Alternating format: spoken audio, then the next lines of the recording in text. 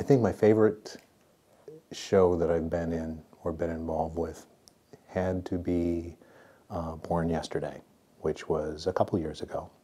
Uh, and I got to play uh, Harry Brock, who, if you watch the movie, he was uh, Broderick Crawford's uh, character. He's kind of a tough guy, very, you know. Uh, but that show was with a couple people who had never been in, a, in, in our, our company before, uh, Karen Kraft and, and Jim Heath, and just working with those, those people. Karen had been, been involved with, uh, with improv groups for a long time, and, but she hadn't been involved with straight theater in a long time. So she was very nervous and very concerned that she wouldn't be able to do it, but she was so good.